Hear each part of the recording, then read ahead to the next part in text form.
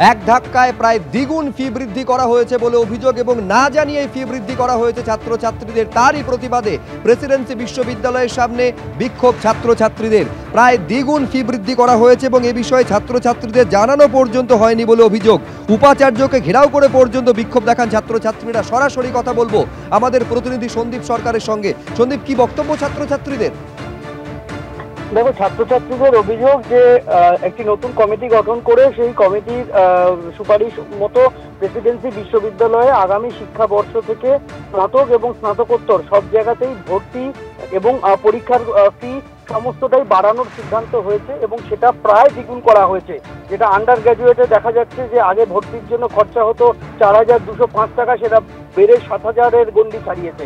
একইভাবে পোস্ট গ্র্যাজুয়েটেও তাই চার হাজার তিনশো টাকা আগে লাগতো ভর্তি হতে, এখন সেটা লাগবে সাত হাজার দুশো টাকার কাছাকাছি। দ্বিগুণের কাছাকাছি পৌঁছে গিয়েছে এই বর্ধিত ফি ফলে স্বাভাবিকভাবেই পড়ুয়াদের মধ্যে থেকে তাদের ক্ষোভ সামনে এসেছে এবং গত কয়েকদিন ধরেই পড়ুয়াদের একাংশ তারা বিক্ষোভ দেখাচ্ছিলেন, অবস্থান করছিলেন এই ফি বৃদ্ধির প্রতিবাদে। আজকে উপাচার্যকে ঘেরাও করা হয়েছে বেলা দেড়টা থেকে এই ঘেরাও অবস্থান তাদের চলছে। যতক্ষণ না পর্যন্ত বিশ্ববিদ্যালয় কর্তৃপক্ষ তাদের সিদ্ধান্ত পরিবর্তনের বিষয়ে কোনো পদক্ষেপ নেবেন এই ঘেরাও চলবে জানিয়েছেন ছাত্ররা। ধন্যবাদ সন্দীপ।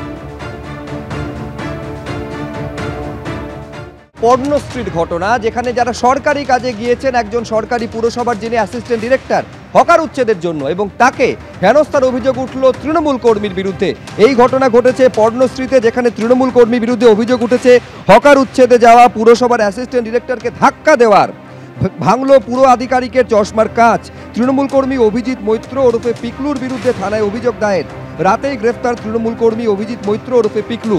কর্তব্যরত সরকারি কর্মীকে মারধর, কাজে বাধা দেওয়া সহ একাধিক ধারায় মামলা রুজু করা হয়েছে।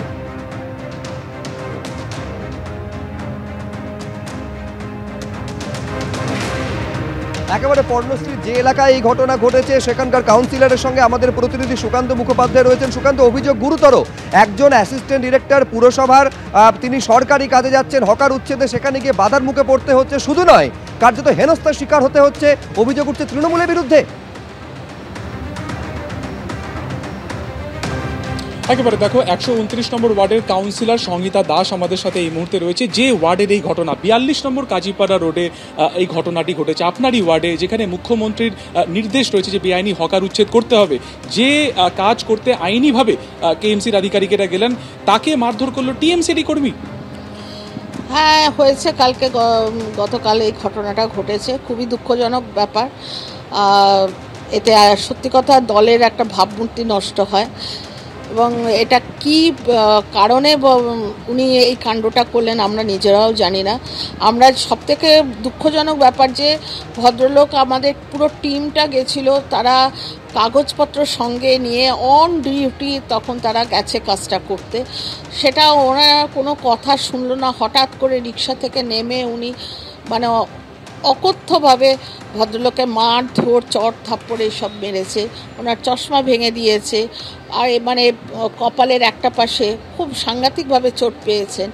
তো এইটা আমরা, এই অন্যায়টাকে কোনোভাবেই আমরা প্রশ্রয় করি না। যেখানে মাননীয় মুখ্যমন্ত্রীর নির্দেশে একটা সুন্দর একটা অভিযান শুরু হয়েছে এবং আমরা কাউকে বলছি না যে, না, তোমার এই ব্যবসা বন্ধ করে দাও, তুমি এখানে করতে পারবে না, সেটা আমরা একবারও বলছি না। আমরা বলছি, করো, তুমি ব্যবসা করবে না, কারণ তোমার একটা পরিবার চলে।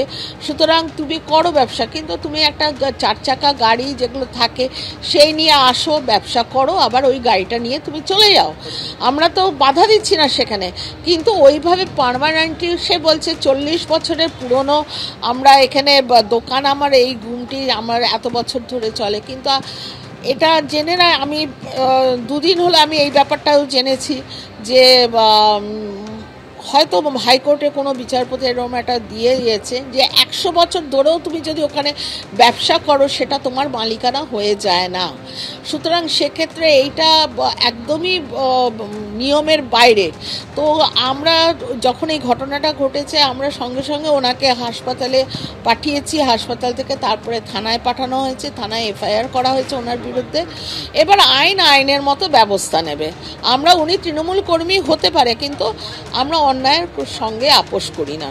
রত্না চট্টোপা- চট্টোপাধ্যায় তিনি নিজে আদালতে গেছেন যদিও সরকারিভাবে তিনি ক্যামেরাতে এই ব্যাপারে কিছু বলেননি। তিনি গেছেন একজন অ্যাকিউজড তাকে তিনি যখন আদালতে রয়েছেন সেই সময় কি বলবেন? তিনি কেন গেছেন আমি বলতে পারব না। ওই অভিজিৎ মৈত্র অ্যাকচুয়ালি রত্না চ্যাটার্জির ওয়ার্ডেরই বাসিন্দা।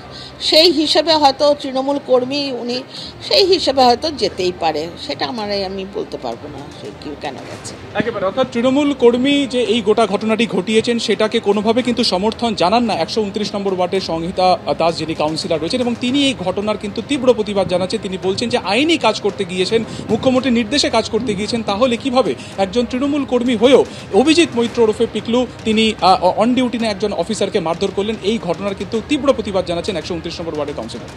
একেবারে, তুমি আমাদের সঙ্গে সুকান্ত থাকো। স্পষ্ট তিনি বলছেন, কাউন্সিলর যে এই ধরনের ঘটনায় দলের ভাবমূর্তি নষ্ট হচ্ছে। আরেকবার আপনাদের বলব যে একেবারে সরকারি কাজে, একেবারে মুখ্যমন্ত্রী নির্দেশ পালনে গিয়ে তৃণমূল কর্মীর হাতে আক্রান্ত হলেন পুরো আধিকারিক।